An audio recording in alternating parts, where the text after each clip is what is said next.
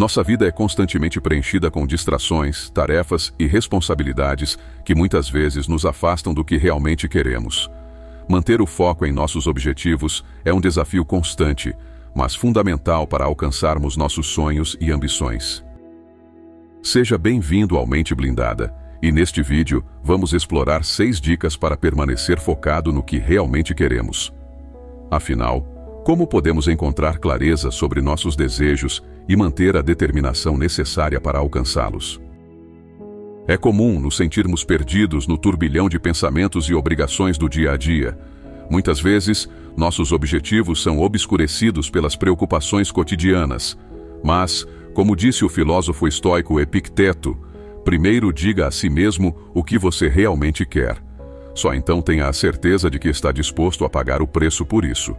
Portanto, o primeiro passo para permanecer focado no que realmente queremos é encontrar clareza sobre esses desejos.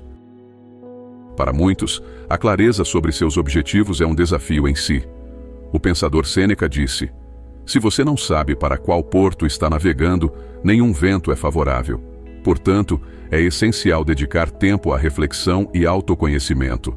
Faça perguntas a si mesmo, como: O que verdadeiramente me faz feliz? Que metas são mais importantes para mim? Quando conseguimos identificar o que realmente queremos, o foco se torna mais natural.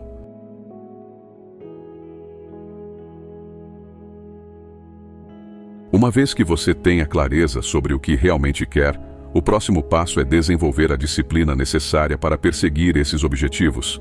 A disciplina é como a bússola que mantém seu foco direcionado na direção certa.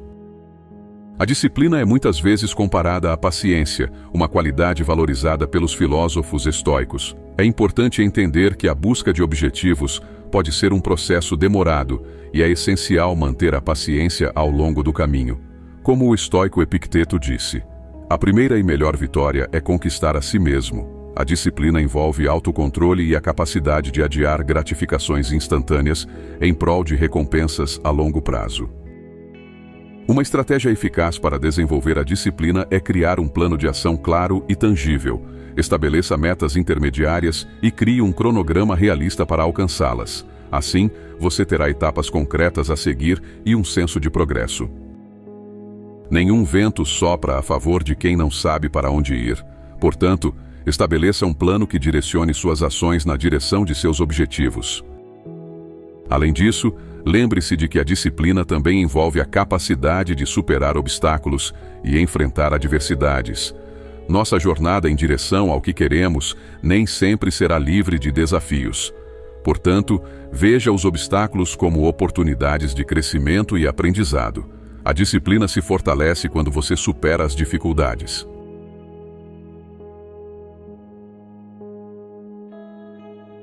As distrações podem se disfarçar de muitas formas, desde o tempo gasto nas redes sociais até compromissos que não contribuem para seus objetivos. O filósofo Sêneca aconselhou: Enquanto a vida estiver com você, aproveite-a. Aprenda a usar o tempo corretamente.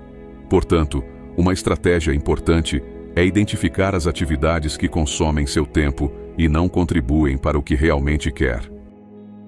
Uma abordagem eficaz é a criação de listas de prioridades.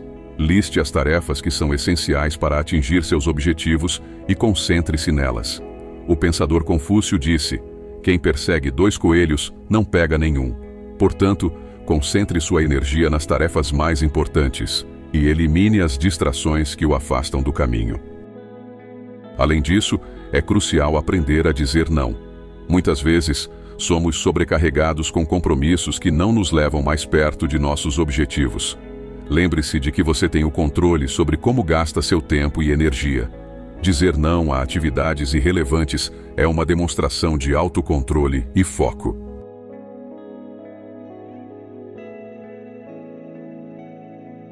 A meditação é uma técnica antiga que tem sido praticada por filósofos, líderes espirituais e pessoas comuns ao longo da história. Ela envolve a concentração da mente em um objeto, pensamento ou respiração, com o objetivo de acalmar a mente e alcançar um estado de atenção plena. A meditação é uma ferramenta eficaz para reduzir a ansiedade, o estresse e as distrações. Além disso, A meditação pode ser adaptada para atender às suas necessidades e preferências. Você pode escolher entre diferentes técnicas de meditação, como a meditação da atenção plena, meditação transcendental ou meditação guiada. Experimente várias abordagens para encontrar a que mais se adequa a você e sua rotina.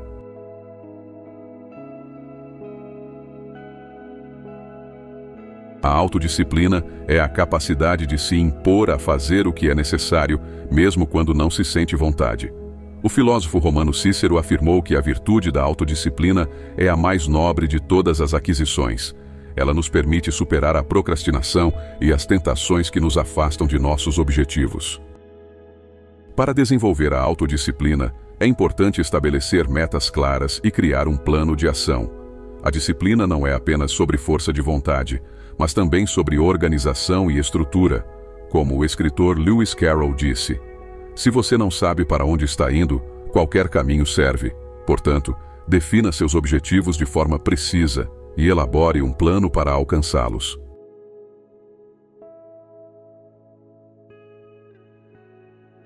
Um ambiente organizado e uma agenda bem estruturada podem fazer maravilhas para a produtividade. O filósofo estoico Sêneca disse: o que não é útil é inútil. Portanto, avalie seu ambiente de trabalho e elimine qualquer desordem que possa distraí-lo. Mantenha uma agenda que inclua tempo dedicado às suas metas e tarefas importantes. A organização também se estende ao gerenciamento do tempo. Aprenda a priorizar suas tarefas com base na importância e na urgência. Como o autor Stephen Covey afirmou em seu livro Os Sete Hábitos das Pessoas Altamente Eficazes. O que é importante raramente é urgente, e o que é urgente raramente é importante. Portanto, dedique tempo às tarefas que realmente o aproximam de seus objetivos. Além disso, considere a organização digital. Existem muitas ferramentas e aplicativos disponíveis que podem ajudar a manter suas metas e tarefas bem organizadas. A tecnologia pode ser uma aliada poderosa na sua busca pelo que realmente quer.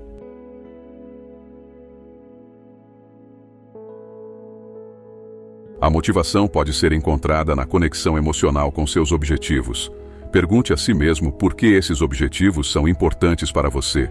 O que os torna significativos? Encontre seu porquê e mantenha-o sempre em mente. Além disso, estabeleça recompensas para si mesmo à medida que alcança marcos em direção aos seus objetivos. A sensação de realização e as recompensas tangíveis podem ser poderosos impulsionadores da motivação. Como disse o psicólogo B.F. Skinner, o que é recompensado é reforçado. Leia sobre pessoas que alcançaram o que desejavam e aprenda com suas jornadas. A motivação pode ser alimentada pelo exemplo de outros. Como o escritor Ralph Waldo Emerson disse, faça o que você gosta, faça o que é amado e seu trabalho nunca será tedioso.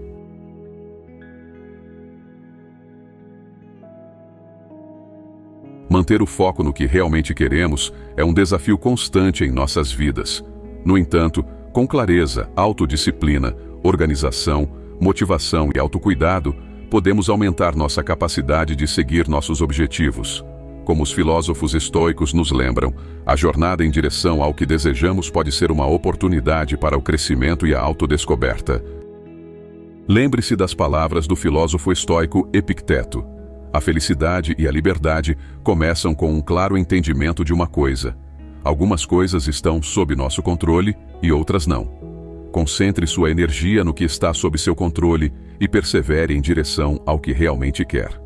Com as dicas e estratégias discutidas neste vídeo, você estará no caminho certo para alcançar seus objetivos mais desejados.